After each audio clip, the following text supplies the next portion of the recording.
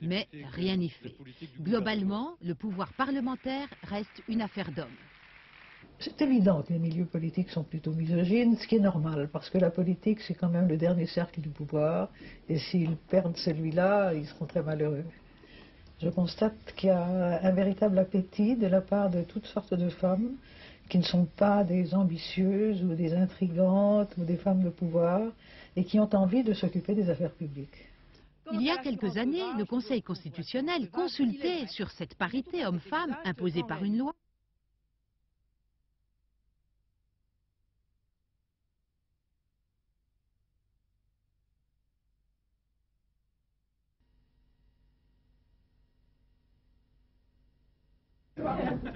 Photo de groupe au quartier général du candidat Mitterrand. Les proches sont là, rien de plus normal, mais la famille s'est élargie. Marguerite Duras, Claude Brasseur, Brice Lalonde, du beau monde, et pourtant la vraie vedette ne faisait pas partie du tout Paris. Celui que la presse attendait, un radical valoisien, ancien ministre de Valéry Giscard d'Estaing, le premier centriste à apporter son soutien à François Mitterrand, il s'appelle Gabriel Perronnet. À la lumière du premier tour,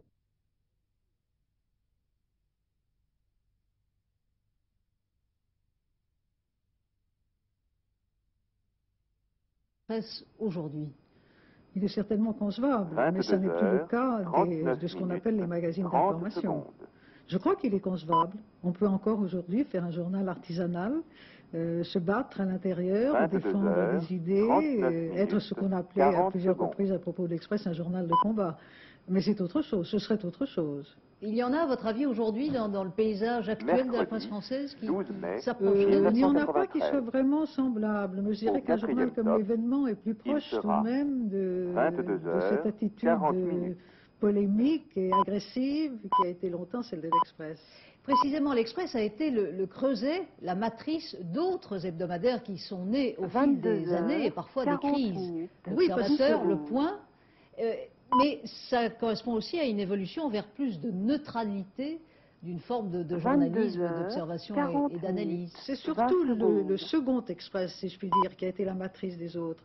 Le premier Express a duré de 53 à 64. 22 heures, Euh, il 40 a couvert donc euh, 30 la secondes. décolonisation, la fin de la guerre d'Indochine, la guerre d'Algérie, etc. C'est cette période-là pendant laquelle il a été au, sens 22 propre un heures, journal de combat. 40 Et puis en 64, 40 il ne pouvait plus continuer sur cette ligne, justement parce qu'il n'y avait plus de combat de même nature. Le combat devenait celui de la construction d'une France industrielle. Il a donc 12 mai, transformé sa formule, 1993. qui euh, physiquement ressemble à celle qu'il a aujourd'hui, toujours, toujours oui, la même, 22 avec quelques heures, petits détails 41 près. Et c'est cette formule-là qui a donné naissance à, à des petits. euh, Des petits qui sont devenus en assez grands. qui s'en est inspiré directement. C'est Yann Delécotet qui 22 dirige aujourd'hui la rédaction 41 d'Express, mais le patron du 10 groupe, c'est vous, Françoise Sampermans. Bonsoir. On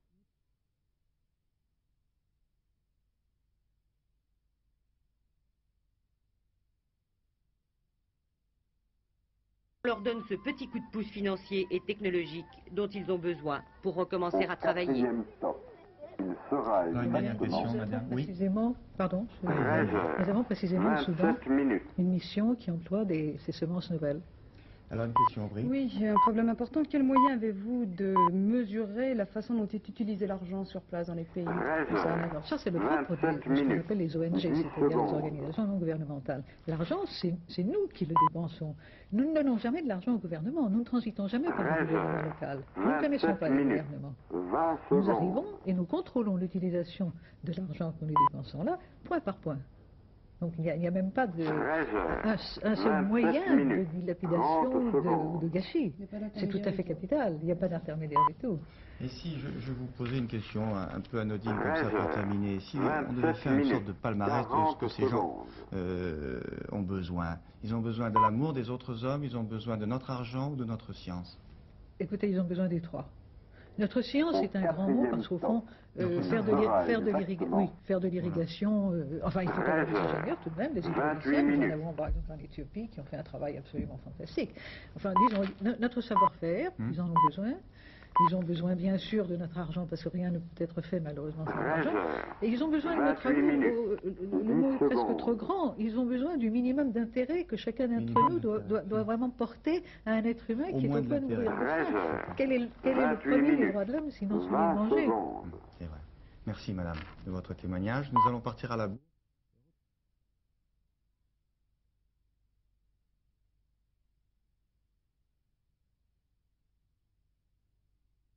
Est-ce que ce 30 déséquilibre est, selon vous, définitif et irréversible?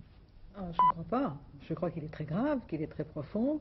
euh, 13 qu'il faut y prendre euh, 23 garde minutes. parce qu'il peut 40 euh, avoir des conséquences alors véritablement irréversibles. Mais il n'est pas heureusement ir- irréversible. Il est certainement, je ne sais pas comment on peut dire, correctible, ça Oui, se dit on peut. Corrigible corriger. C'est vrai qu'on en parle depuis très très longtemps et que bon, on n'aboutit pas à grand chose au fond. Ah, 13 quand même, il y a des choses qui ont changé. Il y a 24 quand même des pays qui sont un peu sortis d'affaires. Euh, ce qu'il y a eu, enfin, ça nous entraînerait peut-être un peu loin, c'est que l'endettement du tiers-monde, euh, dans des proportions euh, absolument catastrophiques, a été 13 heures. largement 24 encouragé avec légèreté 10 par l'Occident, Oui, par le Nord, disons. Voilà, vous voulez dire par là qu'on est un peu coupable dans cette affaire-là. Bien. Alors reparlons maintenant de, de cette association. 13 Il s'agit donc de l'AICF 24 qui existe depuis 1979 et qui 20 vient en aide à plus d'un million de personnes dans 20 pays du tiers-monde. Et vous lancez là une nouvelle campagne. Oui. Alors un, un petit mot pour, euh, sur le but de cette nouvelle campagne et ensuite nous verrons un, 24 un minutes. reportage. Le but est 30 très simple. Nous avons de nouvelles missions qui vont s'ouvrir euh, aux Philippines, à Madagascar, euh, au Pérou. 13 heures. Euh, je ne sais plus 24 encore où. minutes. Et euh, chaque 40 mission nouvelle secondes. exige de nouveaux moyens, de nouveaux fonds. Euh, mais vous savez, c'est simple les missions dans le tiers-monde. Ça consiste tout simplement à faire venir de l'eau, Au à apporter des instruments, à apprendre aux gens à s'en servir et à leur permettre de développer leur 13 propre terre. Ce sont des choses 25 absolument minutes. élémentaires. Encore précisément, faut-il les faire.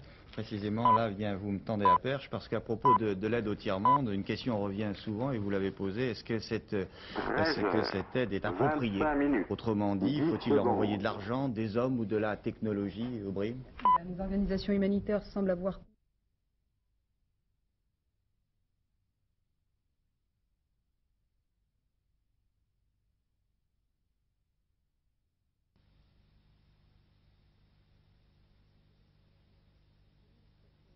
Selon ce que le chargé d'affaires de l'Afghanistan nous a dit, d'abord la nouvelle quand même qui est importante, selon lui, euh, Jacques Abouchard est en bonne santé et bien traité.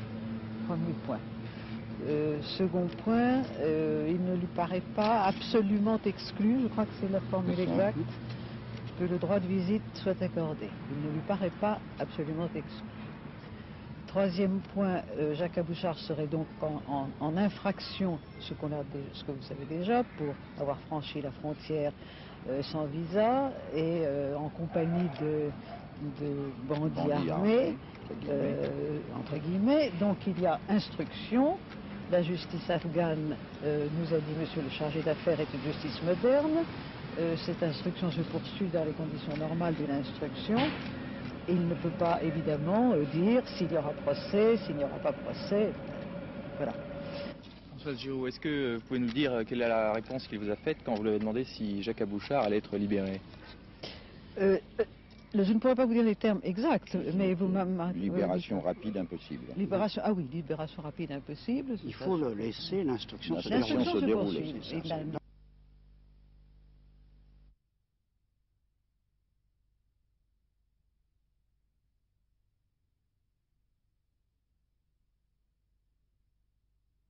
Au gouvernement. 4 minutes.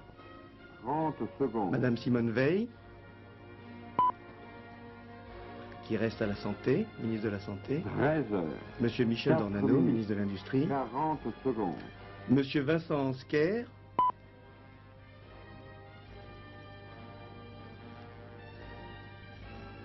Monsieur Au Pierre Brousse, nouveau ministre. Il sera exactement 13 heures. 5 minutes.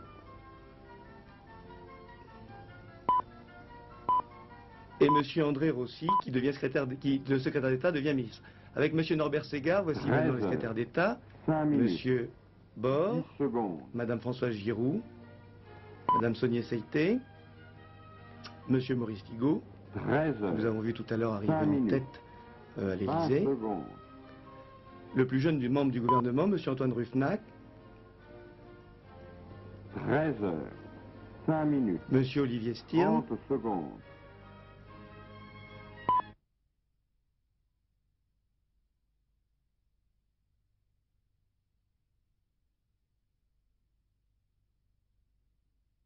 Ambiance différente pour ce nouveau conseil par rapport à l'ancien Forcément, les circonstances n'étaient pas les mêmes. Je dirais qu'il y avait une ambiance euh, grave et extrêmement attentive. 13 heures. Bien, nous allons revenir euh, sur des questions plus politiques dans un instant, mais je voudrais simplement, pour les téléspectateurs qui n'en auraient pas encore pris connaissance, souligner que ce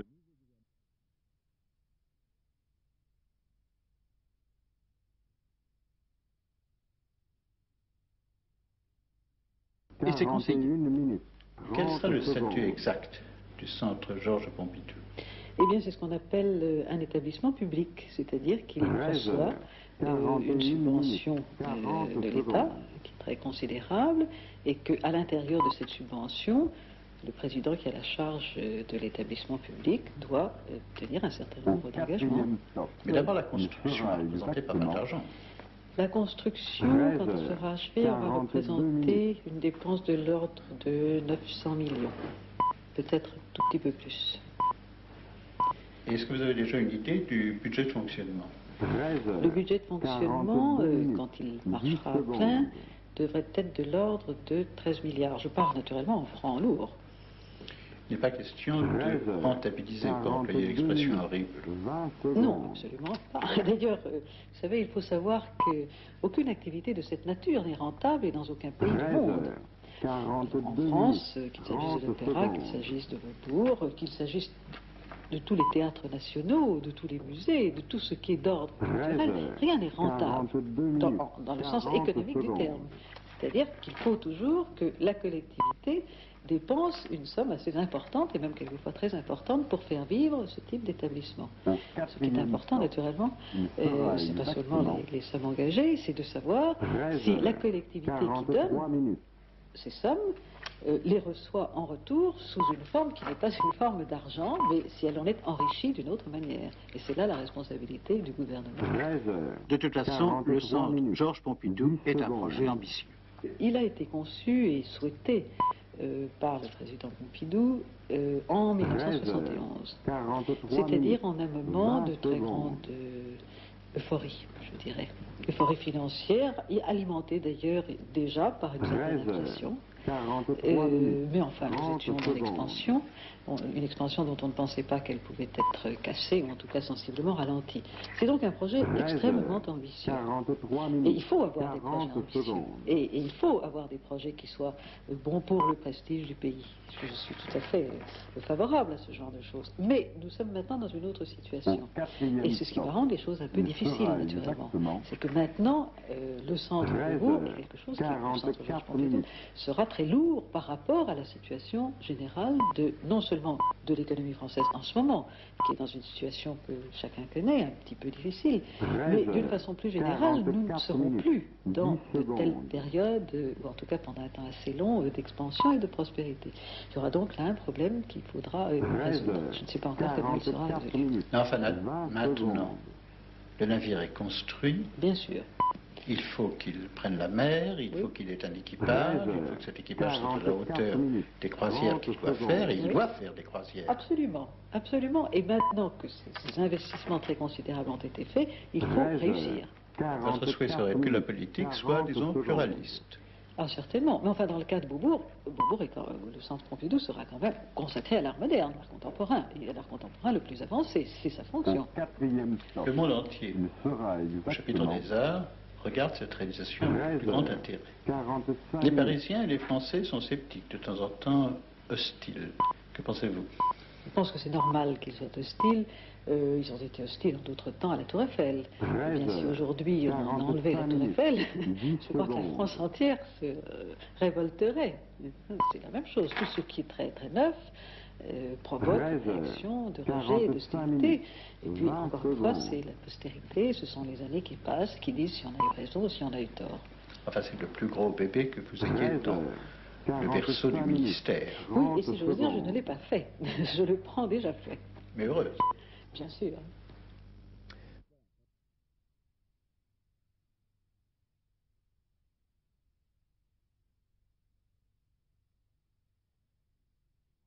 Problème, loin de là. C'est un monsieur que l'on n'a pas l'habitude de voir à l'Élysée, ni même dans les palais officiels. Et c'est sans doute le plus grand peintre vivant, Marc Chagall. Chagall qui, aujourd'hui, a reçu en présence de toute sa famille la Grand Croix de la Légion d'honneur des mains du président de la République lui-même. Marc Chagall a beau être un maître, il était tellement ému qu'il n'a pas pu remercier le président de la République par un petit discours.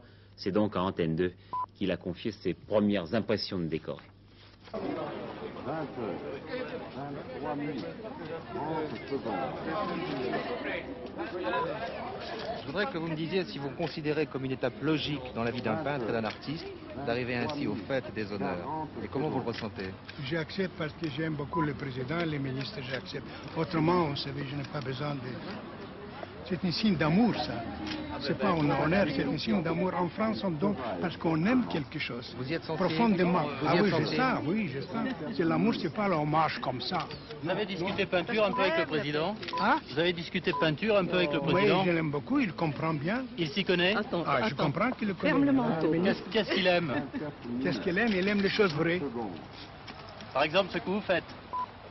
Je ne parle pas de Chagall. Les autres, vous ne parlez pas de Chagall. Je ne parle pas de Chagall. Vous aimez Chagall? Moi, oui, j'aime beaucoup. Alors voilà. Voilà, avant de refermer la dernière page de ce journal, une bonne nouvelle pour les contribuables, le paiement des impôts locaux.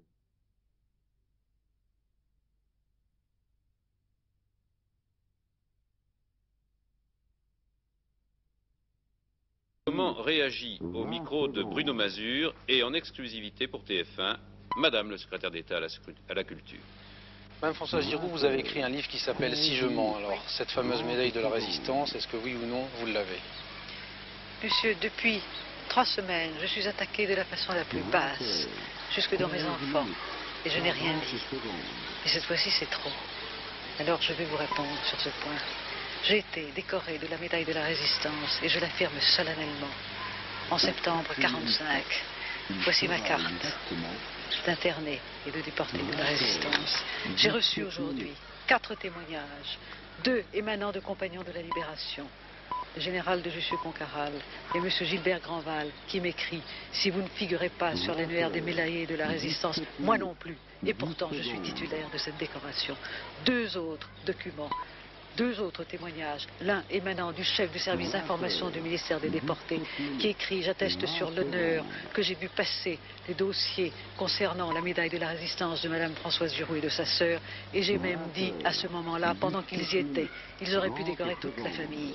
Enfin, le dernier témoignage émanant de celui qui a été mon chef au début de la résistance, pendant que j'étais agent de liaison au réseau Buckmaster, qui est commandeur de la Légion d'honneur, croix de guerre avec palme, rosette de la résistance, et qui écrit Madame Françoise Giroud a été décorée de la médaille de la résistance en septembre 45 sur proposition du colonel Chapa, déporté à Neuengamme.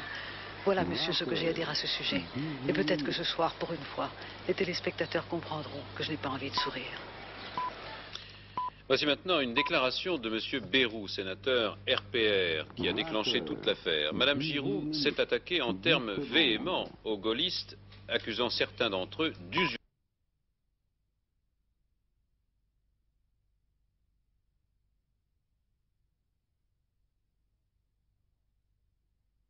Et de savoir si lorsque vous étiez dans ce gouvernement, vous ne vous êtes pas considéré euh, plutôt comme journaliste euh, que comme ministre. Autrement dit, que se passerait-il si chaque homme d'État ayant les responsabilités du pouvoir publiait quelques mois après l'avoir quitté un ouvrage dans lequel il confierait tous ses secrets Alors, je vous dirais d'abord que je suis très très loin de raconter tout ce que j'ai entendu. Je suis quelqu'un de responsable. Euh, par conséquent, il y a toutes sortes de choses euh, qu'il aurait été tout à fait inconvenant de raconter. Je ne raconte que, si je puis dire, la façon dont ça marche, ce qui est assez particulier. D'autre part, euh, si je prends par exemple un livre comme celui de M. Alain Perfit, euh, il raconte beaucoup de choses. Seulement, c'est ce qui s'est passé euh, il y a dix ans. Alors, moi, je crois que c'est très important que les affaires de la France, si je puis dire, appartiennent aux Français. Et que témoin de ce qui a marché et de ce qui n'a pas marché, de mon point de vue, pendant ces trois ans, C'est maintenant qu'il faut le dire. Ça, dans dix ans, ça n'aura plus beaucoup d'intérêt. Vous avez été ministre pendant trois ans, à un mois près. Et quand on lit le compte-rendu de tout ce que vous avez, vous avez, vécu en tant que ministre, on vous trouve un peu déçu et un peu aigri. Oh, aigri Ça, vraiment pas, alors. Ça, c'est un mot que je réfute absolument. Je déçu, en tout cas. Ah oui, ça, ça c'est... Je dirais, pour être exact, déconcerté, plus que déçu. Alors, par quoi avez-vous été déconcerté? Les ministres n'ont pas de pouvoir, c'est ce que vous dites Ou l'apparence du pouvoir euh, Voilà, je crois qu'il faut voir que le pouvoir s'établit à plusieurs niveaux. Naturellement, les ministres ont du pouvoir sur euh, leur administration, sur un certain nombre de choses qu'ils font, heureusement. Et ils sont tout à fait nécessaires, comme sont nécessaires les administrateurs, les députés, les préfets et tous ceux qui sont dans la machine de l'État. Ils ont le pouvoir de proposer euh, des lois, éventuellement de les faire voter. Euh, c'est le pouvoir au sens le plus, large, je veux dire le pouvoir de maîtriser les événements et le pouvoir de transformer le cours des choses, pas les transformer vraiment, encore une fois. Et ce qui m'a surtout euh, frappé, c'est que, je l'ai déjà dit, je m'excuse auprès de ceux qui m'auraient entendu de le répéter, c'est que les forces de transformation de la société ne me paraissent pas branchées sur le pouvoir, ou plus exactement, le pouvoir n'est pas branché sur les forces de transformation de la société. Il me semble que la, la machine de pouvoir tourne un petit peu sur elle-même. Est-ce que ce n'est pas le propre de la démocratie? Est-ce qu'on pourrait écrire la comédie du pouvoir sous une dictature? 13 heures. Écoutez, 12 minutes. Sûrement pas.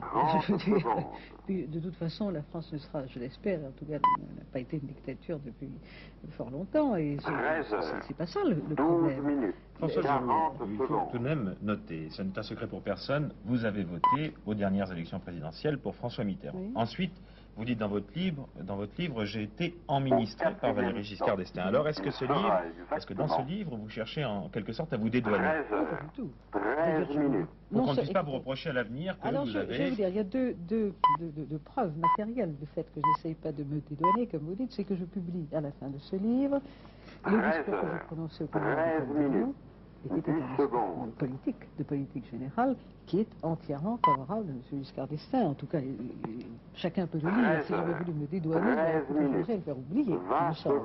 Première des choses. La seconde est que euh, je dis très clairement, me semble-t-il, en tout cas, et dans l'avertissement et dans la fin de ce livre, que ce que j'ai pu constater existerait, me semble-t-il, avec tout autre gouvernement. Ce n'est pas, ce n'est pas parce que c'est M. Giscard d'Estaing ou M. Chirac qu'il y a il y a quelque chose dans la machine qui, me semble-t-il, ne marche pas bien. Alors autrement dit, s'il y avait une élection présidentielle demain, s'il y avait à nouveau deux candidats, François Mitterrand, Valéry Giscard d'Estaing, pour qui vous voteriez-vous? Peut-être c'est une hypothèse qu'on ne peut pas se présenter. Donc euh, je crois que vous demander euh, si vous deviez choisir demain entre avril ou dans mars. C'est ça alors il, alors il se présente une autre hypothèse prochainement, ce sont les législatives. Oui. Est-ce que vous serez candidate ou est-ce que vous avez envie d'être candidate à ces élections? Ah, je n'en ai aucune envie. Aucune envie. Euh, je vous dirais qu'il me semble qu'il faut que désormais des gens beaucoup plus jeunes que moi se présentent aux élections. Je crois que nous allons vers une situation de transformation profonde, rapide, difficile, et je crois que le, le monde d'aujourd'hui doit être saisi et maîtrisé par des gens plus jeunes et qui n'ont plus la mémoire encombrée par tout ce qui encombre. J'allais dire un autre, mais vous êtes beaucoup plus jeune. Si toutefois vous étiez candidate, sur quelle étiquette le seriez? Quelle- Oh, la mienne, De c'est quel radical. parti Radical. Bien, François Giroud, euh, donc dans ce livre, et nous en terminons, je crois, dans ce livre, euh, on- vous parlez beaucoup en détail de la manière dont se tiennent les conseils des ministres, vous parlez de Valéry Giscard d'Estaing, de Jacques Chirac, de. Marie-France Garot, vous parlez de beaucoup de personnes. Est-ce que pour vous, tout de même, vous parlez en fait des gens, euh, ce sont des, appréciations assez gentilles en définitive. Vous les attaquez mais gentiment. En tout cas, mon propos n'est pas du tout d'être méchante, et je vous remercie de le faire remarquer. Alors, est-ce que pour vous, il doit ou il ne doit pas y avoir un secret d'État? Parce que tout de même, vous allez assez loin dans ce livre. Écoutez, il y a certainement un secret sur les délibérations à proprement parler du Conseil des ministres. J'ai assisté à un certain nombre de délibérations sur des problèmes importants. Vous n'en trouverez pas la trace. Et de même, il n'aurait pas été, me semble-t-il, raisonnable, pour le peu que j'en dis, euh, de dire voilà quelle était la position d'un tel et d'un tel. Vous ne le trouverez jamais. Quand j'ai cité des choses précises, c'est parce qu'elles m'ont paru tout à fait inoffensives quant à ce que je racontais, et qu'elles servaient à exprimer, à traduire l'attitude, en particulier du chef de l'État ou de son Premier ministre de l'époque, de M. Barre. Mais euh, il n'y a, vraiment rien là qui relève de la, de la trahison du secret, qui aurait été tout à fait inconvenant. François Giroud, une explication de texte, si vous voulez bien. Je relève une phrase. Tout grand chef politique doit avoir l'instinct du tueur. D'abord, en ce sens, hein, euh, là, c'est un, un, raccourci. Oui. Oui, je, je, enfin, je, je, le dis parce qu'il y a un chef d'État, je raccorde qu'il y a un chef d'État étranger euh, qui, après son entrevue avec M. Giscard d'Estaing, a dit cet homme est tout à fait exceptionnel, il a toutes les qualités, il ne lui manque qu'une chose, c'était son point de vue, c'est l'instinct du tueur. Ça, alors j'essaye d'expliquer ce que, ce que j'entendais par l'instinct du tueur, c'est-à-dire que le tueur est toujours euh, sur ses gardes et se dit si je ne tue pas l'adversaire, c'est lui qui me tuera. En effet, on peut imaginer que tout grand chef politique doit avoir cet instinct euh, parce qu'il est en effet perpétuellement menacé et nous l'avons bien vu avec M. Giscard d'Estaing. Une dernière question, François Giroud. Comment dois-je vous dire Au revoir, Madame la Ministre, ou au revoir, ma chère consoeur. Vous dites au revoir, Françoise Giroud, et voilà. Au revoir et merci, alors. Jean-Pierre Cotte, membre di directeur, membre du comité directeur du Parti Socialiste, a dénoncé la déloyauté du Parti communiste hier soir à Saint-Pourçain, dans l'Allier. De leur côté, les communistes ont critiqué Robert Fabre par la bouche de Claude Popren, membre du bureau politique du Parti communiste. Et puis nous avons appris ce matin qu'il y aurait une rencontre jeudi entre François Mitterrand et Robert Fabre, rencontre qui avait pour but de faire le point à la fois de la situation politique actuelle à gauche et des prochaines élections législatives. Attentat contre le tribunal de grande instance de Deux-Ponts dans la Sarre ce matin, des dégâts importants. Mais...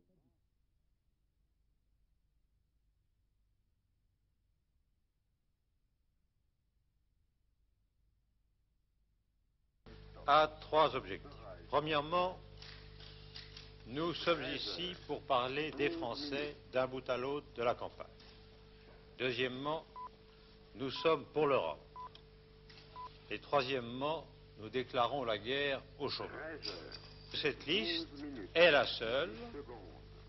J'aimerais que les autres en fassent autant, mais est la seule à réunir sur une même liste et sur une même action des femmes et des hommes qui, depuis huit ans, ont lutté les uns contre les autres. Dans la politique intérieure française, les uns du côté de l'Union de la gauche, les autres du côté de la majorité, et qu'ils se retrouvent du même cœur aujourd'hui sur cette liste et dans cette action, montrant ainsi, même modestement, le chemin de la réconciliation et de l'unité. Jacques Chirac a présenté ce matin l'ensemble de sa liste. Il s'est expliqué ensuite au micro d'Alain Chailloux sur les derniers sondages d'opinion défavorables au RPR. Si les sondages tels qu'ils sont pratiqués en, France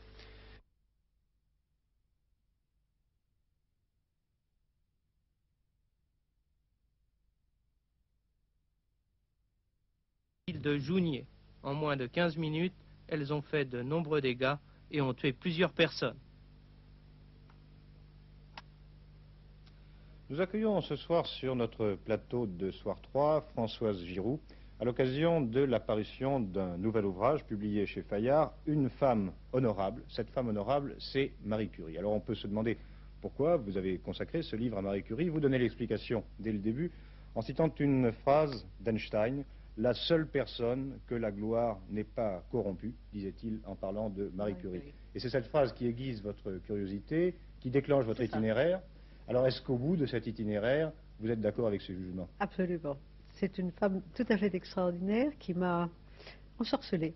C'est une ensorceleuse aux yeux gris, et tout à fait différente de l'idée qu'on se fait d'elle, tout à fait inconnue de moi et je pense de, tout le monde. Oui, alors c'est étrange. J'ai constaté euh, aujourd'hui que un, sondage publié par notre confrère L'Histoire indiquait que 52% des Français considéraient que c'était la femme, enfin le personnage le plus célèbre. Elle vient bien avant Jeanne d'Arc, avant, Jaurès, avant, avant Jaurès, avant Elle est célèbre et mal connue finalement. Elle est illustre, enfin, sa gloire est fantastique, sa gloire est mondiale. On trouve euh, des plaques euh, au nom de Marie Curie au fond du Japon à cause du radium, c'est-à-dire du remède contre le cancer, d'autant plus qu'on ne savait pas encore, du temps où Marie Curie était vivante, qu'il y avait, des, si je puis dire, des contre-indications à l'utilisation du radium.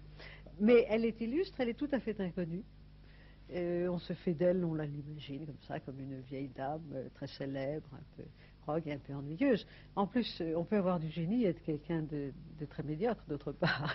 Et ce n'est pas son cas. C'est une personne tout à fait exceptionnelle, avec une vie tout à fait exceptionnelle, remplie d'aventures qui m'étaient inconnues, qui serait trop long de raconter ici. C'est pour ça que j'ai pris la peine d'en faire un livre, avec beaucoup de plaisir. Euh, c'est en plus une femme qui se trouve à, l'intersection de, trois éléments tout à fait importants de la vie contemporaine, c'est-à-dire l'évolution des femmes.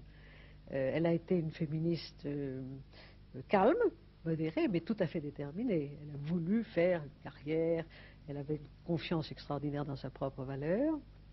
Elle a été quelqu'un d'affreusement pauvre qui a lutté avec l'énergie du désespoir pour arriver à faire des études, à s'imposer, etc elle est la, mère ou la grand-mère de, la radioactivité. C'est elle qui a baptisé ce phénomène que nous appelons la radioactivité de son nom, donc de l'énergie nucléaire. Là, nous y reviendrons dans un instant. Mais alors, il y a une question que je voulais vous poser, elle porte sur le titre. Une femme honorable.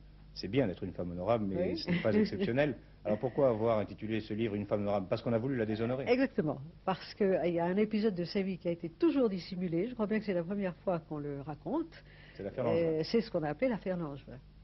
Ce qui est assez extraordinaire, puisque c'est une histoire qui s'est passée, euh, je crois, 4 ou 5 ans après la mort de son mari. Langevin était déjà un savant très connu. Il était marié, il ne s'entendait pas très bien avec sa femme. C'est une histoire assez banale. Euh, Marie Curie le connaissait depuis très longtemps. Langevin avait été l'élève de Pierre Curie. Elle a été la maîtresse de, Langevin. Tout ça, aujourd'hui, ne, ferait pas beaucoup de bruit. Ça a éclaté comme un, scandale fantastique avec des titres à la une de tous les journaux où vous lisez Une histoire d'amour dans un laboratoire, n'est-ce pas, Madame Curie? Langevin était professeur au Collège de France. Ça fait un scandale immense, si grand d'ailleurs que la Sorbonne a demandé qu'on la chasse de France. C'est extraordinaire, cette femme qui avait déjà eu le prix Nobel. Alors, vous le dites à la fin de, votre introduction, vous le répétiez euh, à l'instant, d'une certaine façon, elle est un peu la mère du nucléaire, de, de l'atome en France. Est-ce que elle avait l'intuition du processus qu'elle déclenchait? Je ne crois pas. Elle a eu l'intuition du processus qu'elle déclenchait sans imaginer néanmoins ce qu'est devenu l'énergie nucléaire du point de vue euh, de la guerre. Euh, l'énergie nucléaire comme source d'énergie, oui, certainement. Vous savez, alors ça, c'est un des aspects très intéressants de cette histoire que j'essaie de développer. C'est toute l'histoire de la science française, française et anglaise, puisque Rutherford a été à sa manière en anglais le père de la radioactivité. Euh, les savants français ont joué un rôle tout à fait considérable dans le développement de la science au tournant du siècle. Et euh, au moment où Pierre et Marie Curie ont eu le premier Nobel, puisqu'elle a eu ensuite un second Nobel seul, euh, dans le discours de Pierre Curie, on, voit très bien cette espèce d'inquiétude devant ce que les savants sont en train de, trouver. Et je cite dans, dans, ce livre un livre extraordinaire qui a été écrit en 1913 par Wells, à partir des travaux des scientifiques et de leurs prévisions, où ils racontent l'explosion de la première bombe atomique. en 1913.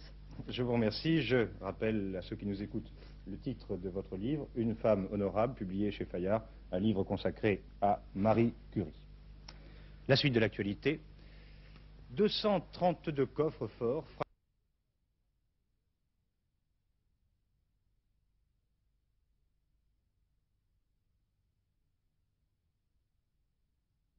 Une partie de la réponse appartient au lecteur. oui, il y a beaucoup de questions dans cette enquête. On fait aussi beaucoup référence à l'argent. La question d'argent, est-ce que ce n'est pas là le nœud euh, des problèmes de la liberté de la presse L'argent?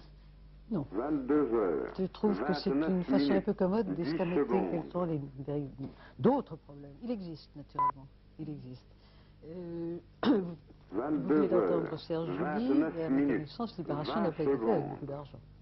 Lorsque vous avez lancé l'Express en 53, c'était, je crois, avec très peu d'argent. avec peu d'argent. Euh, j'ajoute qu'un certain nombre d'opérations précieuses et faites avec beaucoup d'argent, en particulier qui ont été lancées contre le monde euh, à différentes périodes, ont échoué lamentablement. Il y avait pourtant beaucoup d'argent. Bon, alors, il ne faut pas raconter euh, tout à l'heure, un journal avec rien. Tout dépend d'abord de quel journal on, de quel journal on parle, que, de, quoi est-ce qu'il s'agit? Ensuite, euh, tout dépend euh, de ce qu'on entend par liberté de la presse. Euh, qu'est-ce que c'est que la loi de 80 C'est avant tout la loi d'affranchissement de la presse à l'égard du pouvoir. Est-ce que la presse est libre à l'égard du pouvoir? C'est la vraie question qu'il faut se poser, à mon avis. Et je trouve que je suis étonnée que personne n'en parle dans cette enquête. Mais vous, vous avez l'expérience de, l'Express. Je vous dirais que la presse, elle est libre à l'égard du pouvoir, comme vous êtes libre de traverser euh, une rue euh, quand il y a le signal vert et pas le coups. Alors, traverser. 20 secondes. Un certain nombre de chances de passer de l'autre côté de la chaussée. Vous en avez ainsi un certain nombre de ne pas passer. Vous pensez que la liberté, ça se prend Je pense que la presse, ce n'est pas seulement, comme vous l'avez dit, un véhicule d'information et d'opinion. C'est bien sûr tout ça. La presse, c'est du pouvoir. Ce n'est pas le pouvoir. C'est du pouvoir.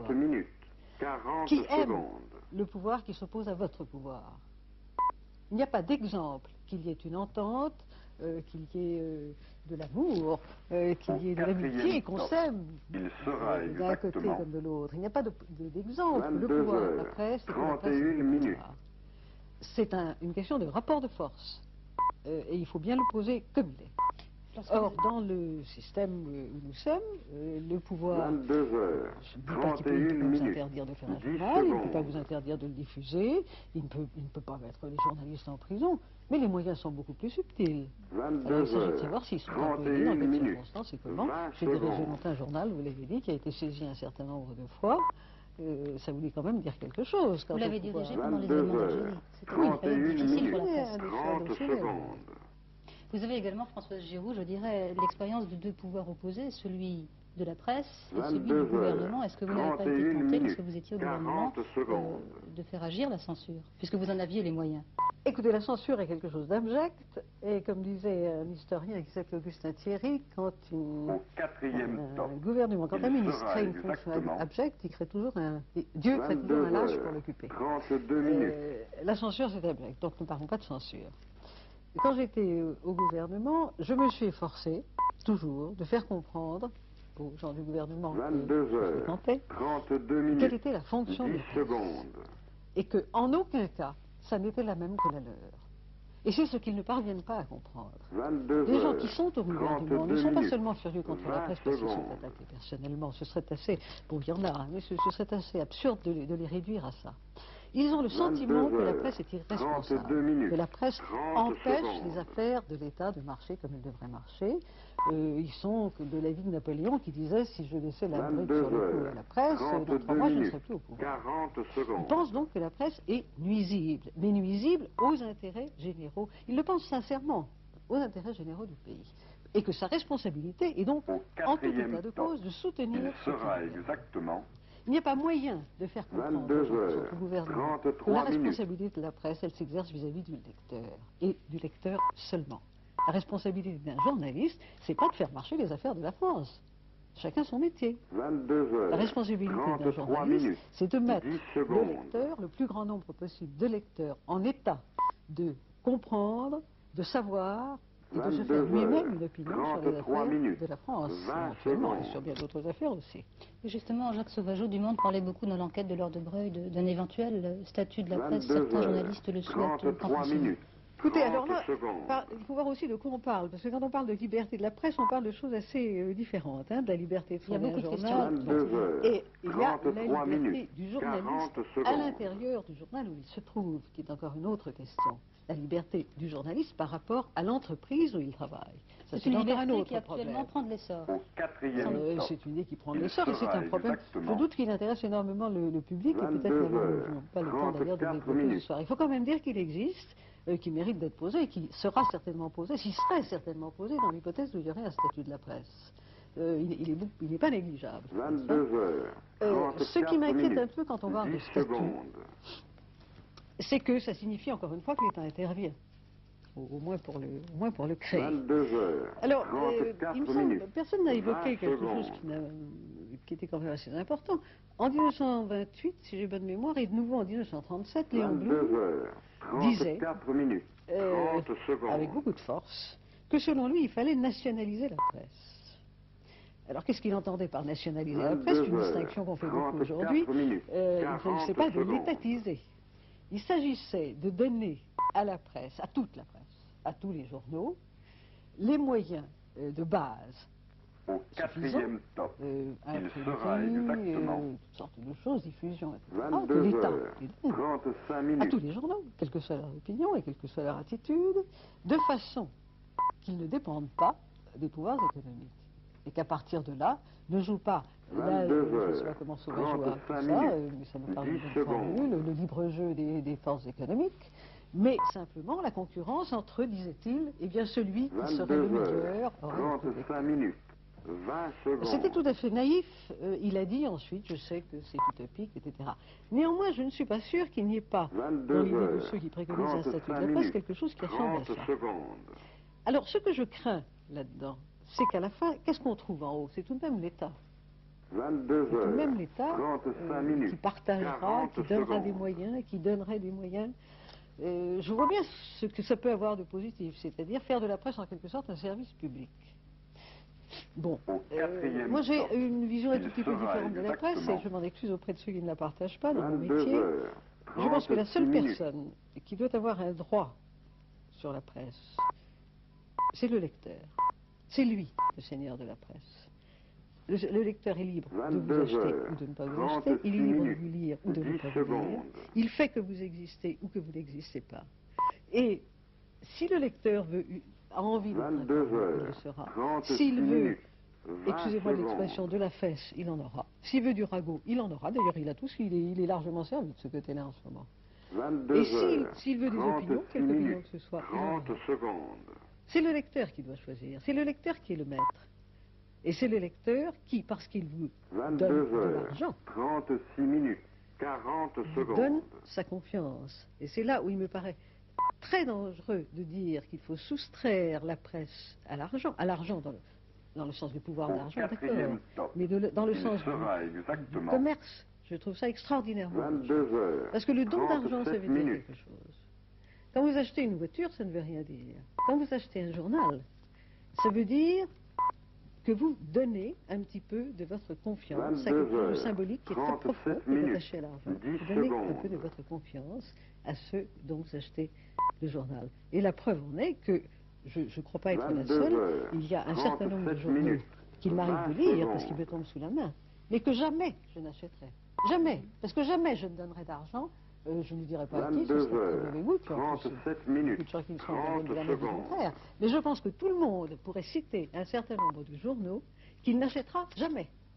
Non pas parce qu'il ne s'intéresse absolument pas à son contenu, mais parce qu'il ne peut pas supporter physiquement l'idée de donner de l'argent à ceux qui le font. Pensez-vous que ce droit euh, du lecteur ou du public est identique en ce qui concerne l'audiovisuel Hélas, non. Il sera exactement... C'est bien pour ça que ça me fait rire quand on parle de l'audiovisuel. Qu'est-ce que ça veut dire? Libre vis-à-vis de qui Qui va décider que c'est bon? Des sondages, ça ne veut rien dire ça ne veut rien dire. C'est extraordinairement euh, compliqué comme problème. Et un jour, il faudrait bien poser, ce problème. Mais dès que vous prononcez le mot d'argent, vous prononcez un mot absolument abominable, nous sommes dans un régime socialiste. En plus, personnellement, j'en suis enchanté.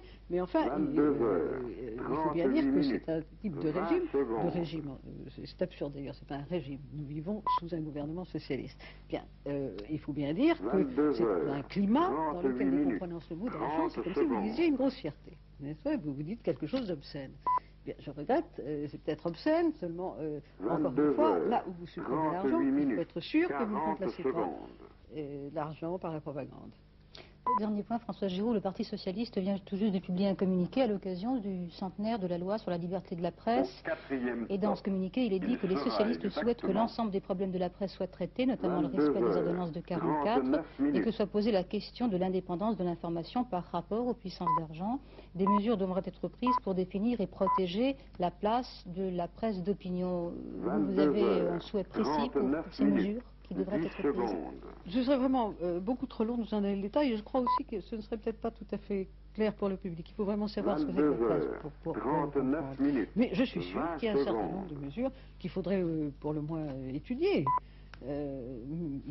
Il ne serait pas mauvais qu'elle soit euh, par des journalistes et aussi par des gens qui ont, euh, eu des intérêts dans la presse et qui, ne sont pas forcément des gens qui sont tous euh, abjects parce qu'ils avaient de l'argent pour faire des journaux. Et en ce qui concerne les ordonnances de 44, est-ce que vous pensez que Robert Rassan doivent échapper à la loi d'amnistie Bon, évidemment pas, mais enfin, c'est pas, c'est pas le problème. Quand on me parle de la concentration, excusez-moi, mais quand on me parle de la concentration euh, qui a été nécessaire pour sauver, etc., si je suis bien informé, et, si je fais une erreur, je prie euh, tout, le monde de m'en excuser, mais si je suis bien informé, les affaires de M. Hersan vont très mal. Alors que le Figaro a été pendant des années un journal prospère sans être concentré, entre guillemets. Ça ne veut rien dire du tout. On n'a pas du tout besoin de concentrer les journaux, c'est-à-dire de réunir plusieurs journaux sous la tutelle d'un seul homme avec une seule imprimerie, pour qu'un journal se prospère. Il y a des journaux qui ne sont pas concentrés du tout, si je puis employer cette expression, et qui marchent. C'est un peu plus compliqué. 22 heures. Merci François Giroud d'avoir été notre invité ce soir pour, ce, pour, cette édition spéciale. Je vais encore à vous donner le tirage du loto. Eh bien, le, le 9, le 13, le 19, le 27, le 42, le 49, numéro complémentaire, le 6. Secondes. Le temps demain, maintenant, eh bien, l'été se maintient avec des températures.